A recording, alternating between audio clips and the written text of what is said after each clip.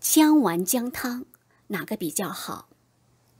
姜丸方面很多没有时间熬煮姜汤的人，很多义工患者问姜丸可否代替熬煮的姜汤。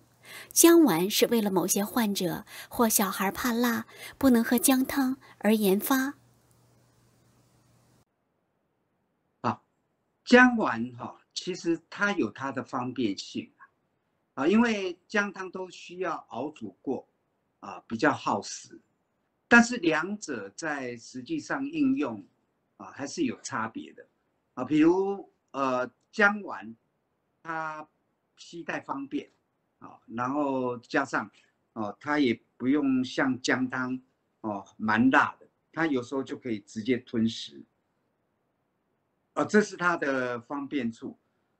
但是在患者如果像一些患者如果有痰多啊，水肿、尿多的时候，这时候喝太多的姜汤，造成他的负担，哦，这时候就可以改用姜丸，啊，那还有在中医，他们也有说，呃，丸跟汤的一些分别方法，啊，他们说丸者缓也，就是缓和的缓，啊，那汤者荡也，啊，汤。比较激呃快速的啊激荡啊，简单讲，姜汤是比较容易吸收的啊，所以从重病患者来讲，他要吸收快一点啊，是可以考虑以姜汤。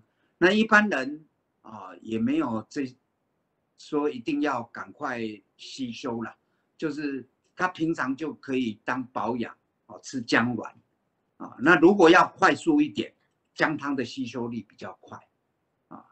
那这两者就看哦，你外出的时候还有个人的体质啊，哪一种比较方便？那我觉得这两者不是谁来取代谁，而是看你怎么应用。那两者都是有效的。那比如说小孩子怕辣，那当然他不想喝姜汤，那就改用姜丸。那这个也是一个方便啦。好，我这个问题就回答到这里。